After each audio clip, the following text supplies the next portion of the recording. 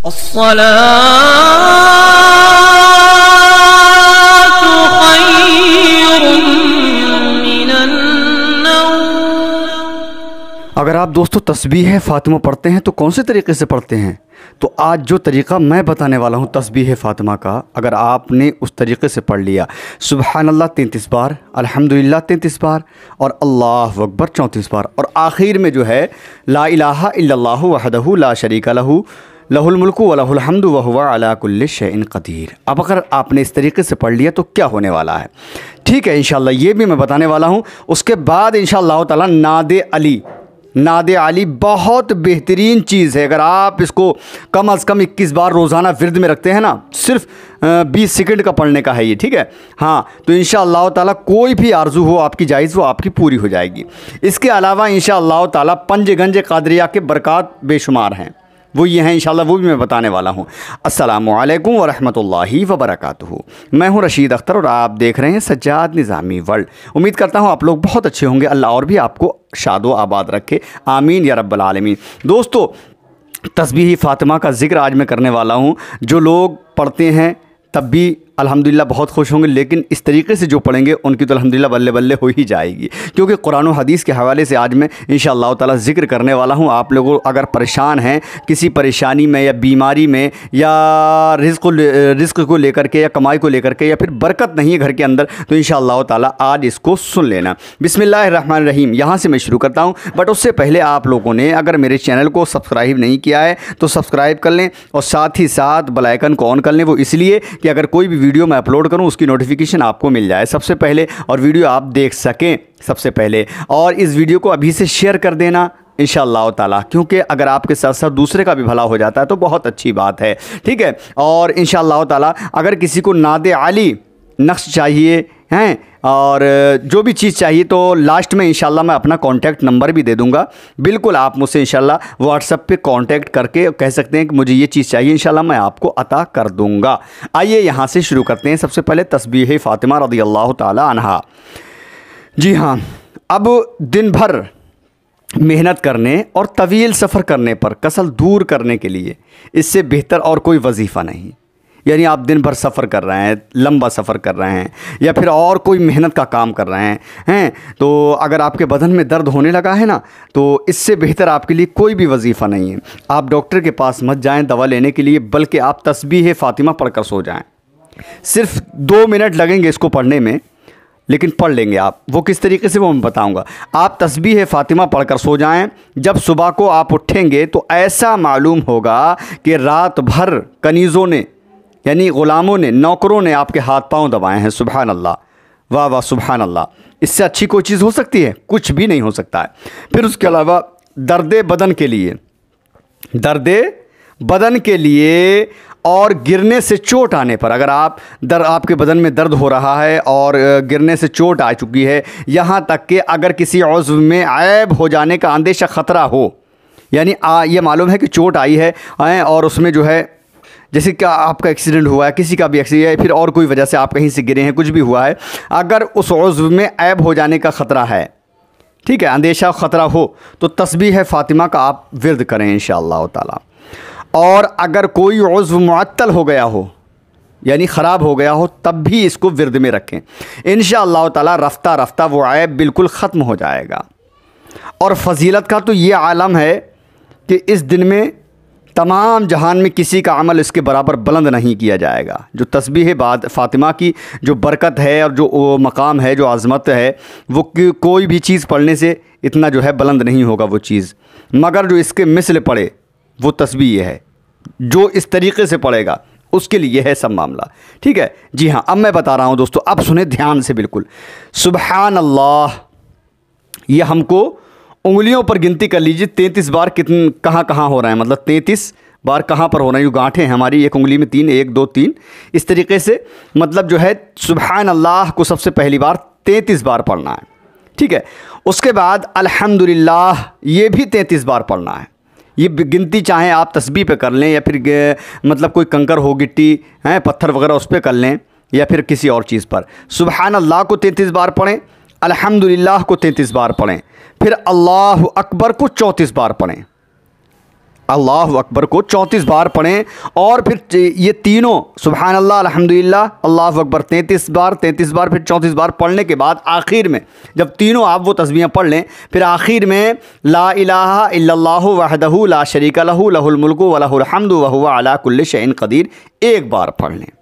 इन ताला, अगर आपने इस तरीके से पढ़ा इस तरकीब से पढ़ा तो जो परेशानी आपकी बदन के अंदर दर्द है, या कोई और दिक्कत है, या कोई और परेशानी है इन ताला वो परेशानी आपकी ख़त्म हो जाएगी। ये मैं नहीं कह रहा, बल्कि किताबों के हवाले से मैं बता रहा हूँ, और वो किताबें जो अल्लामा इकबाल अहमद नूरी कबिला साहब ने लिखी, जिसने जिन्होंने शमा शबिस्तान रज़ा को लिखा है। जी हाँ ठीक है? आइए अब बढ़ते हैं नाद अली। नाद अली बहुत कामयाब चीज़ है, बहुत ज़्यादा ज़बरदस्त। चीज़ है, हम लोगों के लिए। नाद अली जो है, इसके पंद्रह फ़वाद जलीला हैं। जिसकी तफसील अगर आपको देखना है ना तो शमा शबिस्तान रज़ा में मुलायदा फरमा लेंगे आप। शमा शबिस्तान रज़ा में नाद अली के मुकम्मल आप देख सकते हैं, मुलायदा फरमा लीजिएगा। लेकिन मैं यहाँ पर जो है, मुख्तसर मैं बता रहा हूँ आपको मजमू वज़ाइफ में। ला इलाज इमराज हो अगर, यानी जिसको डॉक्टरों ने छोड़ दिया हो कह दिया हो कि ये मर जाएगा, इसका कोई इलाज नहीं है या कुछ भी हो ला इलाज तो वही है जिसका कोई इलाज ना हो। या फिर उसके अलावा जुमला मुश्किल जुमला मुश्किल कोई सी भी मुश्किल हो A to Z X by Z कोई सी भी मुश्किल हो, ठीक है? या फिर खलल, जिन्नो आसेब वगैरह हो आपके घर के अंदर या आपकी ज़िंदगी में, हैं? खसूस हब के लिए, यानी कि मोहब्बत के लिए। अगर का आप किसी से मोहब्बत करते हैं, लड़की से या फिर लड़की किसी लड़के से मोहब्बत करती है, समझे? उनके लिए भी इन ये बहुत ही ज़्यादा कामयाब नुस्खा है। ठीक है? लेकिन अब इसको पढ़ना कैसे है, इसको इस्तेमाल कैसे करना है? तो वो सुन लें इन ताला। कितने मर्ज़ बताए? लाइलाज इमराज, यानी कोई सा भी मर्ज़ हो या फिर डॉक्टरों ने लाइलाज कर दिया हो, या फिर जुमला मुश्किल कोई सी भी मुश्किल हो, या खलल जिन्नो आसेब वगैरह। ठीक है? किसी भी तरीके के आसेबी मामला घर के अंदर हों, या या किसी भी इंसान के ऊपर। या फिर खसूस हुब के लिए, यानी महब्बत के लिए ये नाद अली जो है, बहुत ज़्यादा अक्सर है, बहुत ज़्यादा मुजरब है। इसका तरीका मैं बता रहा हूँ, वो सुन लें। कम अज़ कम कम से कम 21 बार रोज़ाना फिरद में रखे। पढ़ना क्या वही मैं बताऊँगा। स्क्रीन पे भी दे दूँगा नादे आली का, ठीक है? जी हाँ। कम अज़ कम 21 बार रोज़ाना विरद में रखे। जब किसी से अपनी बात मनवानी हो तो तीन बार या अट्ठारह बार पढ़कर उसकी तरफ़ दम कर दे। आय हाय हाय हाय, वाह वाह वाह। यानी अगर किसी से अपनी बात मनवानी हो तो तीन बार या अट्ठारह बार पढ़ ले। नादे आली को जो मैं बताने वाला हूँ अभी। अभी बताया नहीं आपको नादे आली 18 बार पढ़कर उसकी तरफ़ दम कर दे इन ताला, इनकार नहीं करेगा वो आपकी बात मानने के लिए। अब नाद आली है क्या चीज़? ये तो मैंने आपको फ़ायदे बता दिए इसके। ठीक है, लेकिन अब वो सुन ले कि नाद आली है क्या। ये है, नाद अलीम मजहरल आजाइब नाद अलीम मजहरल आजाइब हैं तजिद लका फ़िन नवाब कुल्लो हम्यू व गमिन सयनजली बिनुवती का या रसूल अल्लाह व बिलायती का या अली या अली या अली। ये नादे अली है दोस्तों। ठीक है? हाँ पाँच लाइनें हैं। फिर मैं बता रहा हूँ। नाद अलीम मजहरल आजायब तजिदहू औनल्लका फिन नवायब। कुल्लु हम्यू व गमिन सयंजली। बिनुबुवती का, या रसूल अल्लाह व विलायती का, या अली या अली या अली। ये नाद अली। इसके फ़ायदे तो आपने सुन ही लिए। ठीक है? जी हाँ।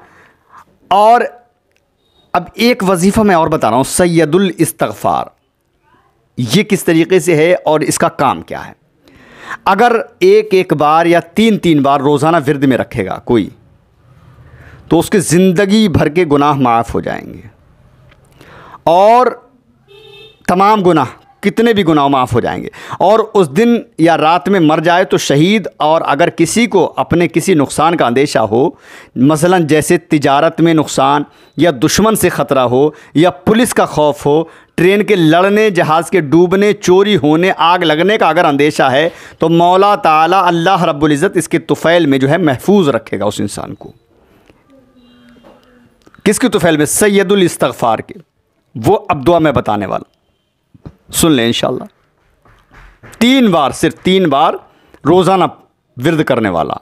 जी हाँ। अल्लाहुम्मा बिस्मिल्लाहिर्रहमानिर्रहीम अल्लाहुम्मा अंता, रब्बी ला इलाहा इल्ला अंता खलकतनी, व अना अब्दुका, व अना अला अहदिका, व वादिका व वादिका मस्ततातु, अऊज़ु बिका, मिन शर्री, मा सनातु अबू उलका बिनिमतिका अलैया व अबू उलका बिदम्बी फ़गफ़र अली फ़िन्नहू ला यगफिरुज़ुनूबा इल्ला अंता फ़कीरा इल्ला अंता हैं हाँ. उसके बाद इतना जायद करता है आप, आपके लिए जायद करना होगा, यानी ज़्यादा पढ़ना होगा। इल्ला अंता के बाद। वगफिर लिकुल्ली मोमिनू वाला मोमिनतिन। इतना पढ़ लीजिए। और अपने जिस तरह या फिर जिस किसी ज़र का नुकसान का अंदेशा होता है ना, उसे पढ़ता रहे। मौला ताला महफूज रखेगा इन ताला। ये सैदुल इस्तगफ़ार हो गया। तस्बीह फ़ातिमा, नाद अली और सैदुल इस्तगफ़ार। ये तीन चीज़ें आज की इस वीडियो में बताई।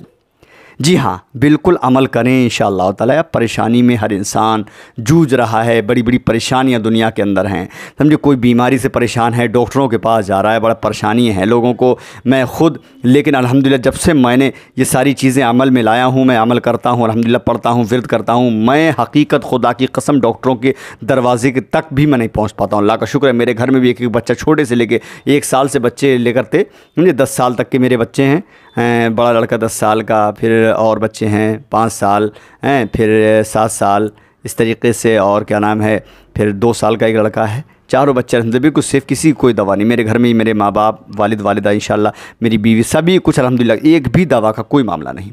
सब अल्लाह का शुक्र है, सब लोग इस्तेमाल करते हैं हर चीज़ तो अल्लाह रब्बुल ने हर बीमारी से बचा के रखा है। इसी के वजह से समझे? अगर हम इसको करेंगे तो डॉक्टरों के पास नहीं जाने को हम हम नहीं जाएँगे। इंशाल्लाह उनके दरवाज़ा हम नहीं खटखटाएँगे। अपना पैसा भी ख़राब, हमारा पैसा भी ख़राब नहीं होगा, इंशाल्लाह हम वैसे भी सेफ़ रहेंगे।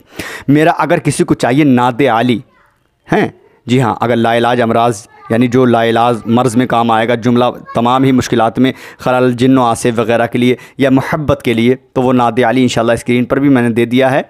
और क्या नाम है आप मुझसे व्हाट्सएप पे भी कह करके और मांग सकते हैं नाद आली मेरा नंबर नोट करें, चौहत्तर, सतहत्तर, ज़ीरो, चौबीस, एक, ज़ीरो दो, ये मेरा व्हाट्सअप नंबर है, इस पर आप कांटेक्ट करके कह दें, रशीद भाई, मुझे नाद आली का वो नक्श चाहिए इन मैं आपको दे दूँगा, आप अपने घर पर पढ़ें इन ताला, फिर देखना अल्लाह रबुल्ज़त का करिश्मा क्या करता है। ठीक है इन अगली वीडियो में आपसे मुलाकात करता हूँ, तब तक के लिए हाफिज़। दुआ खैर में आप फरमाएँ असल वरहमल वर्क अल्लाह हाफिज़, दोस्तों, देखते रहिए Sajjad Nizami world YouTube channel, आपका अपना इसी तरीके से